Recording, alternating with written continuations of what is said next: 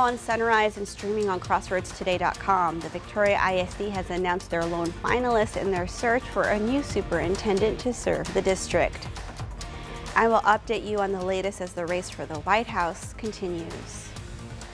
Plus, an independent review of the Secret Service is released. The details of their findings just ahead. And we have just had some absolutely lovely fall weather the last couple days. Yesterday got up to 82 degrees. Is that going to keep up? No, actually, we're going to warm up a little bit going into next week, and we also got to look at the tropics next week. All that in the weather coming up. And who will be our athlete of the week? Find out here in sports. You're watching 25 News Now Sunrise. Good morning and thank you for joining us. It's Friday, Friday. It is Friday and it's the beginning of another weekend, Carolina. It is. I'm excited for the weekend. Oh, yeah.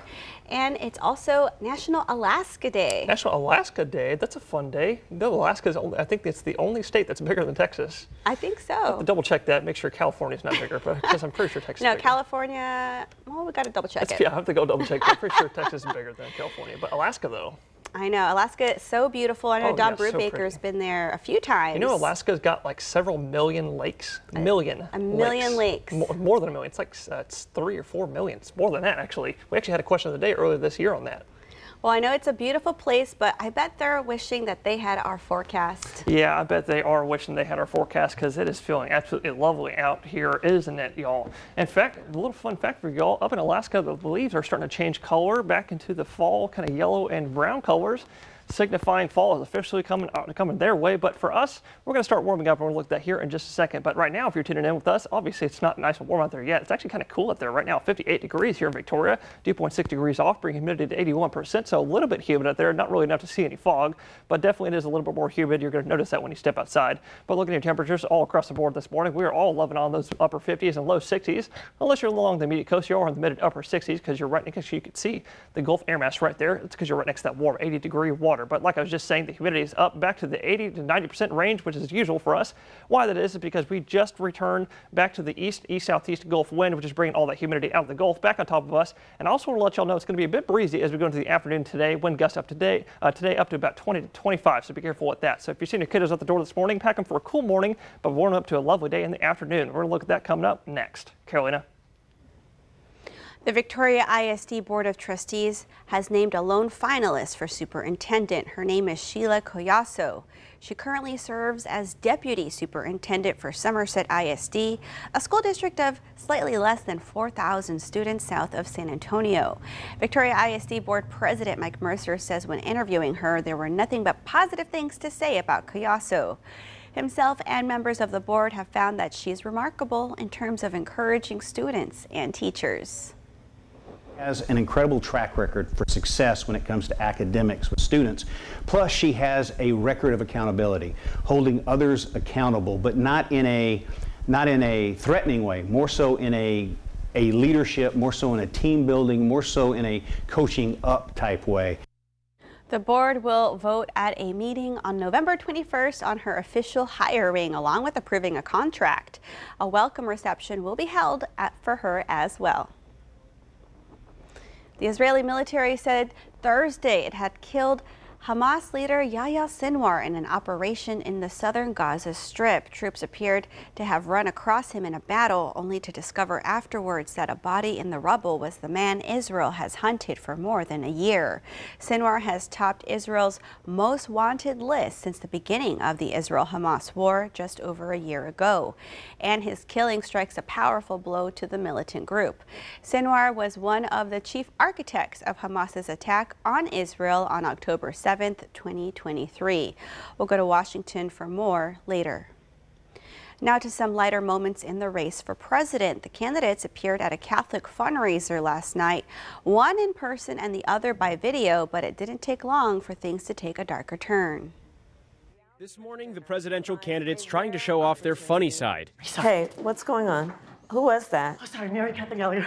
Mary Kathleen Gallagher.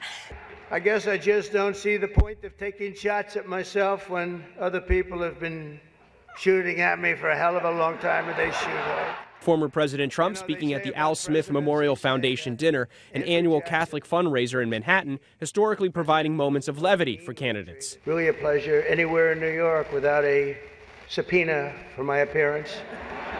Trump was joined by former First Lady Melania Trump, who's been noticeably absent from the campaign trail.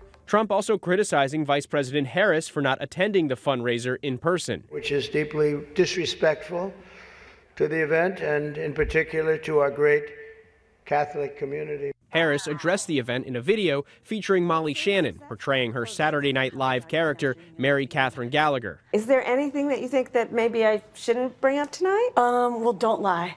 Thou shalt not bear false witness to thy neighbor. Indeed, especially thy neighbor's election results. Harris campaigned across Wisconsin yesterday, criticizing Trump's comment at a town hall where he called January 6, 2021, the day of the riot at the U.S. Capitol, a day of love. Law enforcement officers were killed that day. The American people are exhausted with his gaslighting. Exhausted. Enough.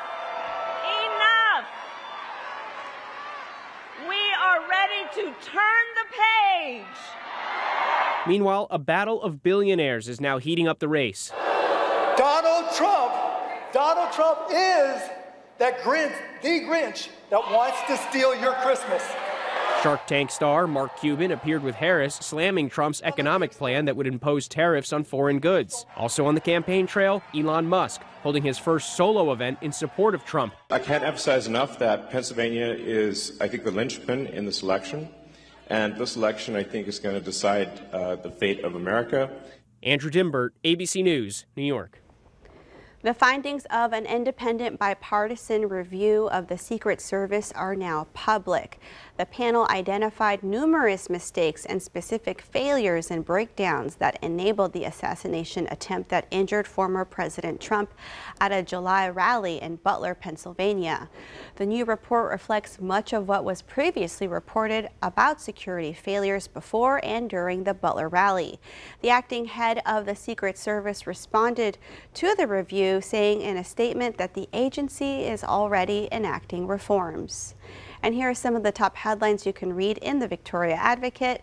The Decorah Club celebrates a big part of Victoria's history, and a local resident speaks out against the Lavaca River Dam project. You can read these stories and more at victoriaadvocate.com. Remember to subscribe to our YouTube channel, Crossroads Today. Hit the like button and click the notification bell. Let's get a look at our clock up here. It is 6, almost 6.39 on our Friday morning. Here's a look at what's coming up on 25 News Now Sunrise. The White House is illuminated in pink. We learn why after the break. This morning, we're learning new details about the death of Hamas's top leader and what that could mean for the dynamics of the war. I'm Christiane Cordero with the latest on that from Washington. And also coming up next after the break in the full forecast, it's going to be another lovely day all across our beautiful state. I'll tell you how nice I think it's going to be here on the crossroads. But coming up later on Sunrise, we're going to continue looking at what's trying to form out there all in the tropics. Here's a look at what you can expect on Community Crossroads. We learn about Golden Crescent moms and quilts for hurricane victims. We hear from the Dorothy O'Connor Pet Adoption Center. And we also learn about the voter approved tax rate election.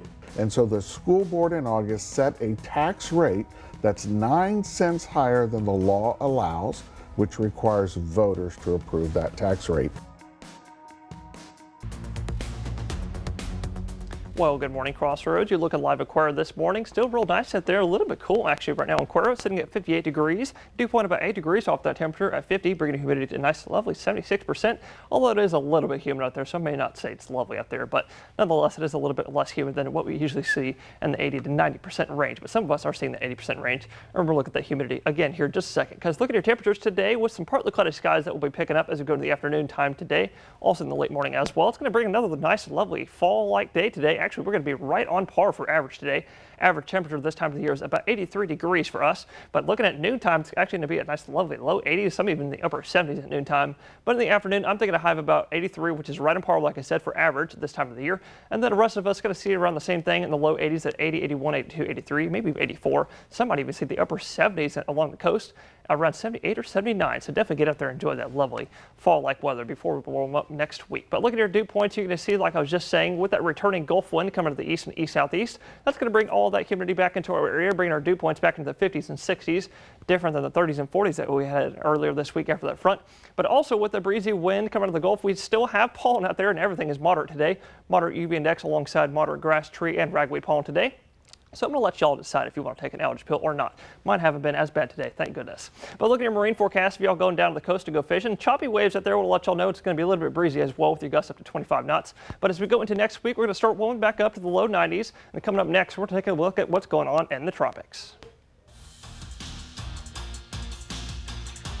Past couple of weeks here for our Athlete of the Week, we've handed out to big-time football players here in the Crossroads, but this week we're heading back to the volleyball court, handing it to Victoria East star and Addison Azuna. Here's more for our Athlete of the Week.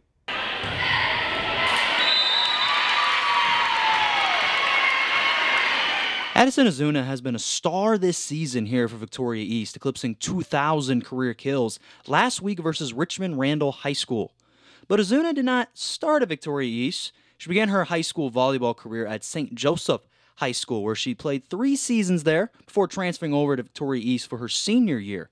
She talks about how this transition was from becoming a flyer to a Titan. I really only have good things to say about both schools. St. Joe is a great school, but since I do intend to graduate early, um, it was just a better fit for me to move to Victoria East. Um, but the transition has been very good, very welcoming, and I'm just glad to be here, be with this team, amazing group of people. Now, moving from one team to another can be stressful for a lot of athletes, but for Azuna, she felt very comfortable here at Victoria East and thankful for all of her teammates. Amazing people. I have nothing but great things to say about them.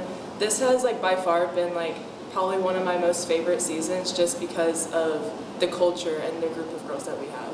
Besides thanking her teammates, also wanted to take some time to thank head coach Shelby Spradley and other assistant coaches as well. Who you are as a player, but she cares about both coaches, uh, Sprad and Coach B, both care about who you are as a person, how you're doing. And it's safe to say that everyone else on the team cares too. Like, it's not just about volleyball, it's who you are as a person, and it's safe to say that they care about both and that's great. Those are great qualities of people. Zuna has already committed to play volleyball at Texas State University after she graduates, and Coach Spradley had some final quick advice for her as she transitions over to college. College, I would tell her that she needs to just keep working hard and keep progressing and stay mentally tough. Zuna is hoping to take her head coach's advice and wants to enjoy her last couple of games in the regular season as a Victoria Titan. A big congrats again to Addison Azuna for being this week's Athlete of the Week. This is Max Williams, 25, News Now Sports. Now to the death of Yahya Sinwar. We're learning new details about where Sinwar was hiding and what his death could mean for ceasefire negotiations as security across the Middle East hangs in the balance. This morning, Hamas leader and October 7th mastermind Yahya Sinwar is dead after being killed by Israeli forces. President Biden calling the death of the terror leader an opportunity for a potential new breakthrough in ceasefire negotiations. Do you have a sense of when we will end the war, sir? Sinwar was found by this Israeli military drone hiding in Rafah. These images show his final moments, sitting in a chair, injured, throwing an object at the drone before soldiers killed him. Soon after confirming Sinwar's death, a cautious optimism across Israel, with hope that this could help end the war. This is a critical, time sensitive development as it relates to the hostages. Families of the hostages are also concerned about what it means for the well being of their loved ones. I'm not shedding one single tear for the life of him, but now there's no central leadership. So the hostages are now left to the uh, mercy of the local captor, which is much more dangerous for them. Killing Sinwar has been one of the main goals of Israel's war with Hamas. Less certain who will emerge as Hamas's next leader and how will that impact the wider escalation in the region even with these major high value target operations, it almost never leads to the strategic defeat or, or collapse of a terrorist group. And the bigger the group, the more resilient they are. Vice President Harris said the world is better off as a result of Sinwar's death. Secretary of State Antony Blinken is expected to travel to Israel within the next four or five days. Christiane Cordero, ABC News, Washington. And that leads us to your viewer poll. You can scan the QR code on your screen to take part. We want to know, do you think the death of Hamas's leader will bring an end to the war soon? Okay, let's take a look. Just 8% of you say yes and 92% of you say no. Come to crossroadstoday.com slash vote to take part in our viewer poll. The White House highlighted National Mammography Day and Breast Cancer Awareness Month by illuminating the building in pink. National Mammography Day is observed yearly on the third Friday in October as part of National Breast Cancer Awareness Month. President Clinton proclaimed this National Day in 1993. It's a reminder for all women that their best defense is early detection. The time is now 648 on our Friday morning. Still to come, Hurricane Milton could be one of the costliest storms in U.S. history. 5 News Now, the Victoria Advocate, and the Victoria Chamber of Commerce for a political forum with the candidates for State Representative District 30, Wednesday, October 23rd, 5:30 p.m., UHV Walker Auditorium. Hear from Democrat Stephanie Bassam and Republican AJ Louderback as they vie for your vote.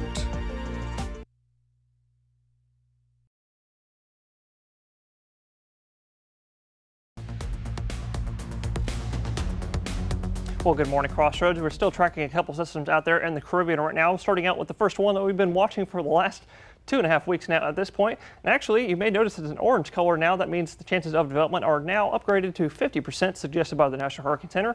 I'm still suggesting chances are at 60% because something is likely to form over the next 24 to 48 hours as we go into this weekend. But we're going to take a look at where it's going to go here in a second because, like I said, it's been upgraded now to a tropical wave Invest 95L with winds sustained at 30, 30 miles an hour around the center. And actually, I'm going to turn everything off so you can see what we're looking at here. You can see all of the thunderstorms and convection that has developed over there in the Western Caribbean, which is exactly what we were expecting to happen. All that has formed off that tropical wave that was way out there in the Eastern Caribbean earlier this week, and that has traversed all the way across the Caribbean. And now we're looking at a really, really weak spin right about there right about there, right there. And as, actually, as I turn on the computer, the uh, latest computer spaghetti models, you're going to see, as promised, it's going to continue moving west or west-northwest into Central America, or maybe even parts of uh, southern Mexico as well. And also, if you may notice, there's lots of convection around this. That's because it's right over the warm, warm waters of the Caribbean, and where there's also no uh, dry air above in the upper atmosphere as well. But looking at the other system that's out there, it's actually now uh, approaching the northern part of the Lesser Antilles Islands, still moving west northwestward, and that one also has been upgraded since yesterday by the Hurricane Center up to a tropical wave invest at 35 miles an hour sustained winds, so a little bit stronger than this one, but still, and actually, I'm going to turn this one off. It's it's a little bit stronger, but it's a little bit less defined out there this morning, and why that is because above this storm is there's a lot of dry air above this one, but and as we go into next week, you're going to see as I turn the, the spaghetti models in on here, going to go into the northern northwestern Caribbean as we go into mid to late next week. And then when that happens, it's going to be entering a more favorable environment for some kind of development with less shear and those warm waters. We're going to have more details on that next week and more coming up later on Sunrise. Early estimates indicate Hurricane Milton could be one of the top 10 costliest storms in U.S. history. The research firm CoreLogic estimates damages as high as $34 billion. The bulk of the losses are from wind damage due to the unusual nature of the storm. As far as water and storm surge, uninsured flood damage is estimated to be about 4 to $6 billion. The numbers are far less than the estimated $47.5 billion in damages from Hurricane Helene. The new research suggests, oh, and still to come on Sunrise, news to know before you go. A death row inmate has more time to plead for clemency.